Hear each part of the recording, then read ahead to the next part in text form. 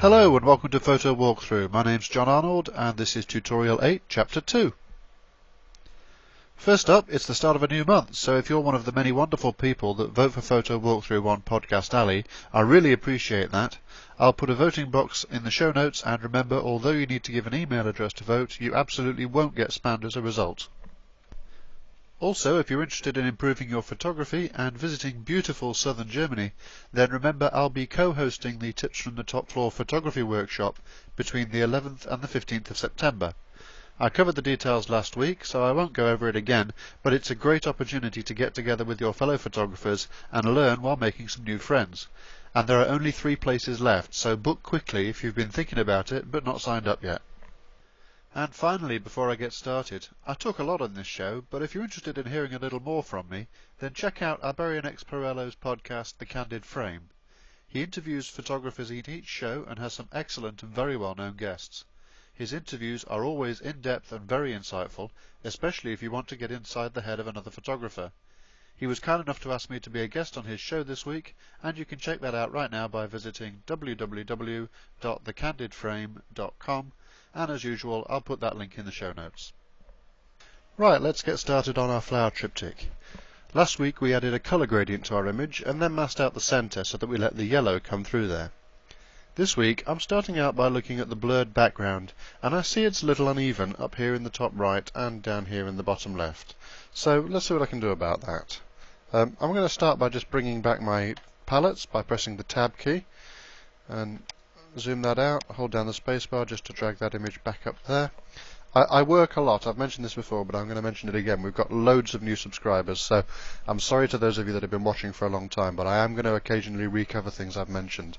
Um, all we've got an enormous number of new subscribers coming in. We've just got a reasonably good rating on iTunes. So um, you see me work with the image here on the background a lot. The way I do that is with the F key. If you press the F key, it cycles through um, a whole bunch of different uh, placement modes for the for the window. The typical window looks like this. So you would typically have your image in a window like that. Um, that's that's not a bad way to work, but personally I prefer if you press F once, it takes the image out of the window and puts the image sort of on the background, and then you can drag it around any way you want it and you've got all sorts of, you're using as much screen space as you like as you can. Now you do have the layer palettes floating over the top here but if you've got a dual monitor setup you can drag those palettes off onto the other screen and that's my normal way of working. I've got two monitors here. I normally have the image taking this entire screen and I have my palettes off on the on the screen to the right. So that's a pretty good way to work if you can do dual monitors. If you can't do dual monitors, then keep your palettes as small as you can, give yourself as much screen space as you can, and try and uh, keep the image somewhere so that the detail that you're working on is visible. But don't zoom in too much. You always want to do these edits in the context of the greater image. You sometimes find if you're doing a, uh, you know an edit on just a small part of the image, you'll find that you you put a lot of time into one little detail and you zoom out and you find that either it's a very small part of the image that wasn't really all that visible and it was kind of a waste of your time or alternatively you've put so much work into that one bit that that one bit really then stands out from the rest of the image and looks different. Perhaps you've colored it differently or you've done more detail work in there or something like that.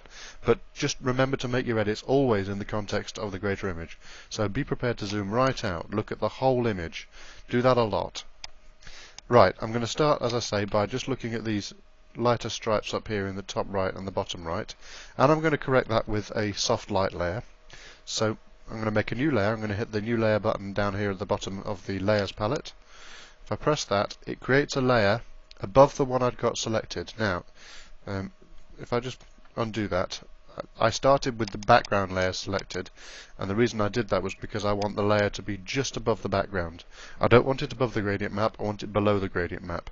Remember you can drag these layers around, you just click and drag them but I wanted that created in the right place. So I've made a new layer and I'm going to change the blending mode which is this drop down up here. I'm going to change the blending mode to soft light and I'm going to call it a soft light layer. And then choosing my brush I've got black selected already, but if I didn't, I could press D to bring back black and white, and X to switch back and forth between the colours. And I'm going to grab my brush and I'm just going to I'm setting a brush size using the square bracket keys about the size of the edit I want to make a little bit smaller actually because fuzzy edge brushes overlap the edge a little bit and I'm just gently I'm using my Wacom tablet here as always this is like an advert for Wacom but they don't pay me honest. Um, and I'm pressing very lightly on the graphics tablet just to sort of layer in the dark tones on that soft light layer. And if I just quickly drag these layers around in different order you'll see that the effect is quite different if it's above the gradient map. So if I drag that above the gradient map you can see it goes lighter and we're starting to get a richer blue here which is not really what I want. I want the rich blue to be on the petals of the flower not so much in the background. I want the I want the flower to lift right off the background. So if I drag my soft light layer back down you see that darkens down. And I'm just de-emphasizing that bright stripe and I'm going to do the same thing on this one here. Just painting a little bit of black on that soft light layer. This one was stronger so I need to press a little harder to to reduce it in the same way as the one above and again just don't try and do it all in one stroke if you're using a mouse be prepared to use the opacity slider up here um, with the Wacom tablet you can safely leave that at 90 or 100%. With, with a mouse you might want to drag that down to sort of 20% and just click and drag in there. You saw that that 20% that I did that with my mouse. That's made quite a visible stripe. So I'm going to undo that. Let's drag that down to I don't know six or seven percent, something like that. That's a much more gentle edit look. So be prepared to to to layer things in, even if you're using a mouse. Be prepared to to do very light opacity strokes in order to make the effect gentle. Alright, I'm just really trying to close that stripe up a little bit. And it's looking a little bit false at the moment, so I'm just going to um, try and fuzz the edges a little bit as well. Okay, well I'm going to stop there. I could spend hours on this, but um, I don't want to make the video too long, so I want to get on with the next step.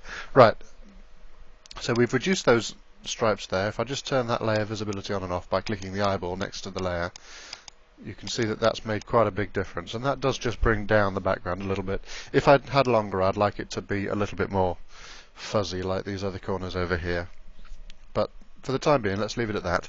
Um, the next thing that strikes me about this image is that when we added this gradient map, which I'll just turn on and off there, a couple of spots appeared on the flower that are uh, fairly unattractive. This one in particular um, draws your eye quite a lot. So I'm going to take that out with a little spot edit.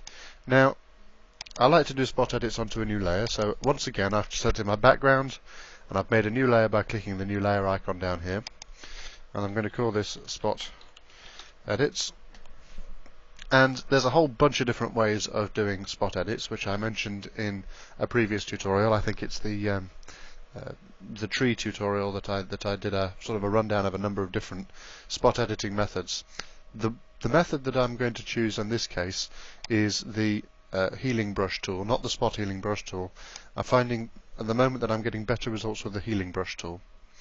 So with my spot edits layer selected, I want to turn off the layers above it because I'm going to do this thing with the sample all layers here. So in the spot healing brush tool, sorry, the healing brush tool, not the spot healing brush tool.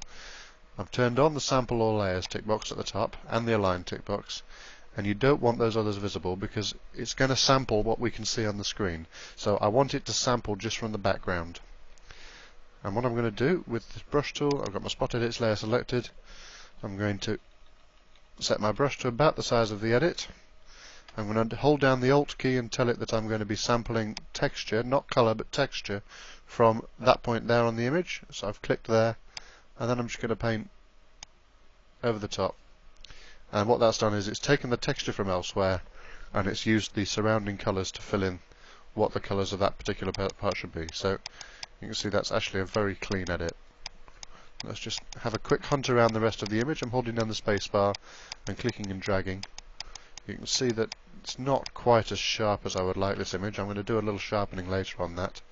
There's another little spot there that could use editing out, so alt click there, option click on a Mac, just take that spot out.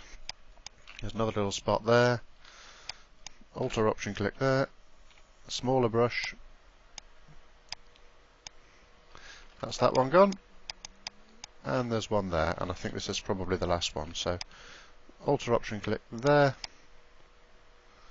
Painting there. That didn't work out so well. Let's try that again.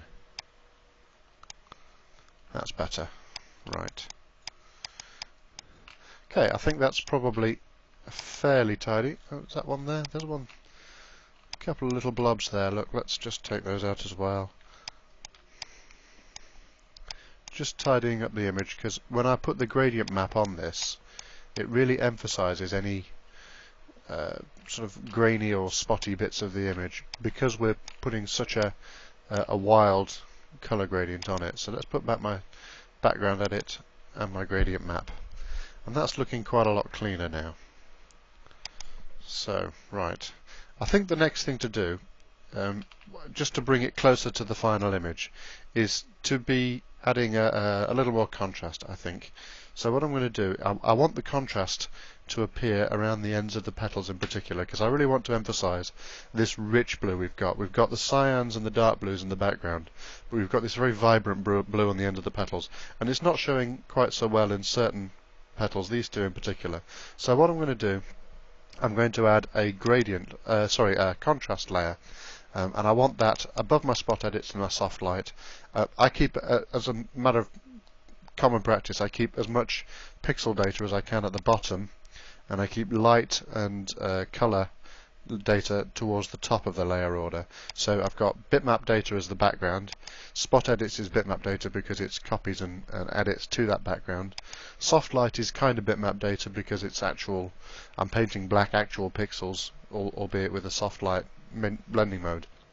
And above that, I'm going to make a new adjustment layer. This is going to be a darkening layer. I'm making, this is the new adjustment layer icon here. I'm going to make a new curves layer. I'm going to make no changes at all here. I'm just going to press OK. So I've got a curves layer that's doing nothing at the moment. If I turn it on and off, you, no change. This is going to be a darkening layer, and the way I'm going to do that is I'm going to take, take that curves layer and I'm going to set the blending mode to multiply.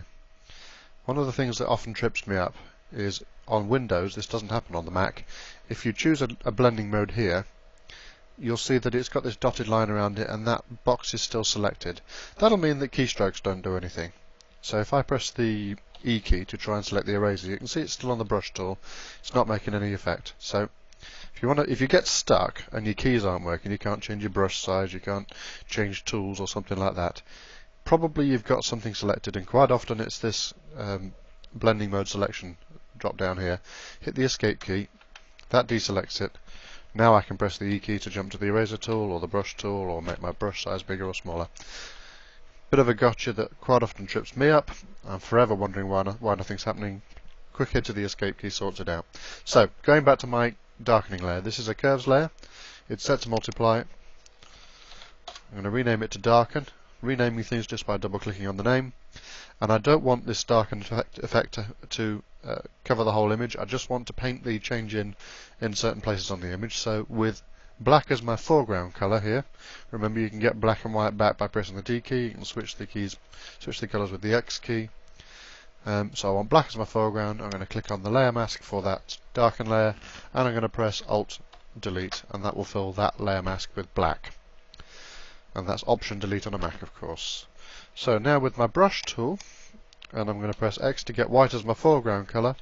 I'm just going to paint black in around the tips of these petals just to bring in, as you watch, I'm painting white onto a layer mask and remember white reveals, black conceals. So I'm painting white on in order to reveal the darkening. So I'm painting a little bit of white around the tips of the petals, in particular this petal here, which needs quite a lot. Again, pressing lightly on the graphics tablet just to blend it down the petal. Pressing fairly hard on the on the end of the petal and just lightening my stroke as I go down the petal in order to blend it down. I just want a little dash of blue on the end of each petal. And I've probably gone a little bit too far on the end of that petal there, so pressing the X key to go back to black, shrinking my brush down a little bit, just blend out the slightly harsh change I made there. Okay, that's that's not bad. That's looking like a reasonably clean edit. Just a little bit of more blue there, a little bit more blue there. That's good. That's good. Okay, and I'm going to finish up now just by doing a little contrast change. And this is exactly the same process as the darkening layer. I'm going to make another curves layer. And again, I'm just going to press OK on it. And this time, to make it a contrast layer, I'm going to choose overlay. And again, this is a, a very harsh edit. Um, that darken layer, by the way, I left it on 100% opacity. Remember, I said before, typically you'll bring these in, these layers in at 50% opacity, um, because it's sometimes useful to be able to drag the slider, the opacity slider up and down. So if you've made a change and you think it's either too harsh or not harsh enough, you have got the room to slide it up and down there. 50% gives you that room in both directions. Um, I didn't do that on the darkening layer because I was just doing a, a gentle a gentle change.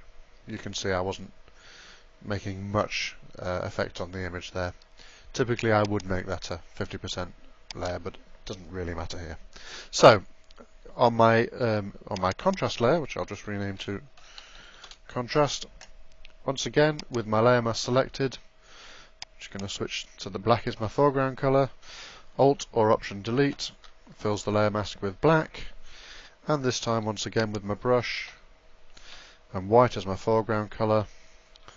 Slightly bigger brush, I'm just going to paint the contrast in, and I do want contrast in the middle here.